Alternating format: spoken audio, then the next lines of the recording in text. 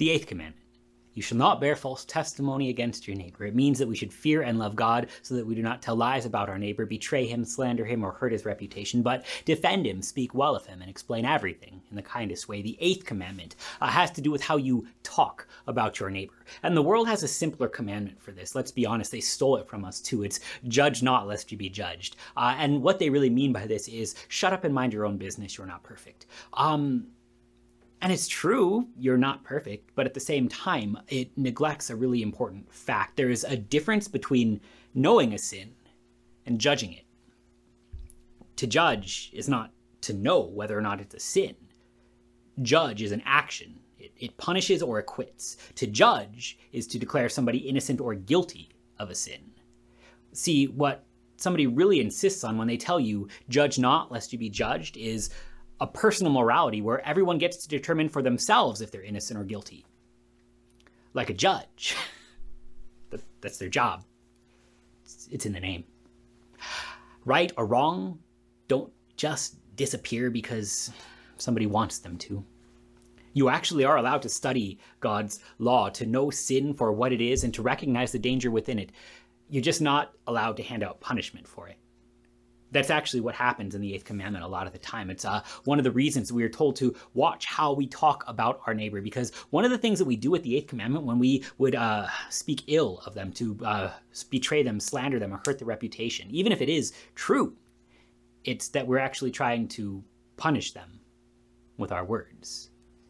See even though jesus says i will be the one to forgive sins or punish we say nah you're not doing it fast enough. I'm going to wreck their reputation and make sure that they hurt. Uh, I, am going to do something worse to them than even bodily harm. Because here's the thing if you walked up to me in a small town and you stabbed me and you stole my wallet, it'd be bad. It'd be sin. It'd hurt. I wouldn't like it. But I could heal up and get a new wallet faster than if you ruined my reputation. God says your reputation is actually so valuable that it must be defended. Not simply by doing away with the idea of sin, but by not letting sins be stuck on you, but instead letting them be paid for by Jesus. The eighth commandment, it lets us uh, explain everything in the kindest well. It lets us speak well of our neighbor. To abuse the eighth commandment is to treat our neighbor the way that God would not treat them, uh, to, to look at them as if they were not somebody worth loving.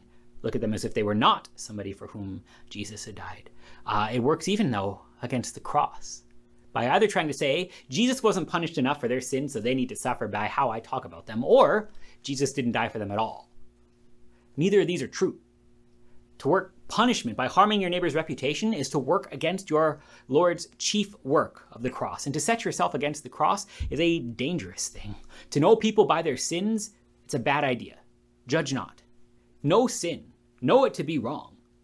Just also know that Jesus died for it and find peace there not just between you and God, but even between you and your neighbor, so that when you see their sins and you recognize them to be so, you would always see Jesus bearing them on the cross.